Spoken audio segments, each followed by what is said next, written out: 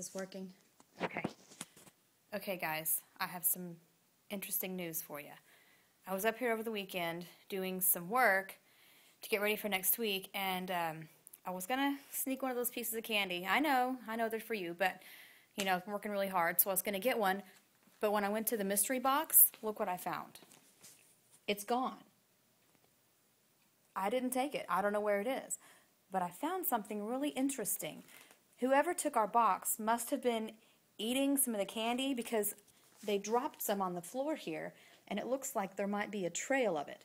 And if you look closely, next to the candy, you can see footprints. You see that? And there's another one. I don't know where they lead, but there's but that's not all. There's one more.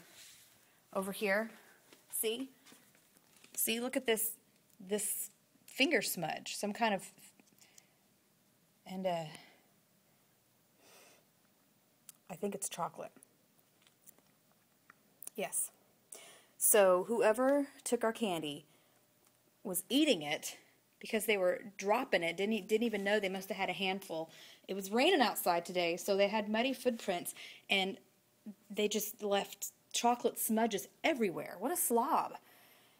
Well, I, am gonna have to, to figure out how this what, what this all means, and you guys are gonna have to help me on Monday. Okay, this too many too many trails to follow at one time, so we're gonna have to split up the work on Monday and follow these clues and get to the bottom of it. Okay, how do you turn this thing off?